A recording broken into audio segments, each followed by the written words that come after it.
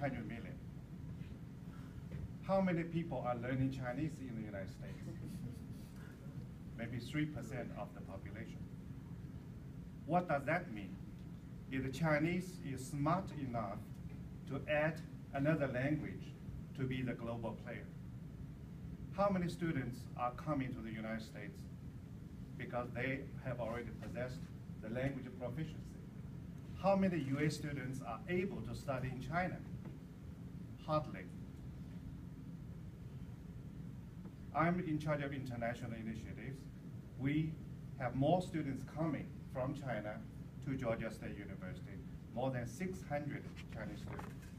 When we do exchange programs, we are struggling because we cannot afford to send our students proficient in Chinese to go to elite universities in China. That is policy, that is political, that is language planning. If all the business people in the United States are able to speak Chinese, understand Chinese, I bet the business will be far better and faster because of the understanding of the culture is through language. As such, we have more than 100 Confucius Institutes in the United States. Stanford, Michigan, Chicago now just closed, but we have more than 100. We're just beginning to show, to, to uh, try to use this as whatever you call, to connect with Americans.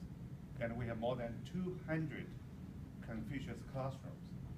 Wesley uh, Charter School is our partner.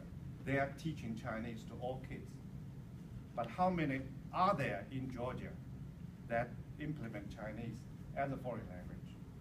So if we do not think that far, we are going to lose our ground. And I just want to offer this perspective that economic development, traveling, business, language is important. I am so impressed by Andrew's analysis of politics in anti-corruption. That slowed down the economy drastically, but might be temporary. When I visited Macau, I noticed all those casinos are struggling. Because of anti-corruption movement, no big high rollers go there anymore. So what can they do? When I go to Beijing or Shanghai, I'm no longer invited to big restaurants. I'm going to the dining hall underground because of the anti-corruption. But how long can it last? Do people still want to eat? Still want to drink Malbec? Yes, they do. That is consumers' psychology. And so I want to leave it right here because I don't want to take the floor, to open the floor for discussion, to look at economic situation, political stance, business uh, practice, and a linguistic perspective.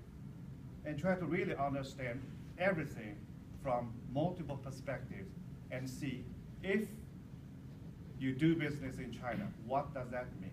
And now, I would say, if U.S. election has different president that will influence the relationship and the economy in China as well. So we are watching. All right, now it's open for discussion. Anyone can ask questions. I have one particular rule to say, keep one question at a time. Keep the answers within two minutes because we want to give floor to all of them. And we have 20 minutes before we close. Thank you very much. Um, I returned from China on Friday. I traveled a lot, and I see a great deal of political ferment. Um, a new leader has emerged who is playing by the political rules of period. He's being described as Xi Dada. His wife is Peng Mama. Uh, she is one of the most beautiful people to ever.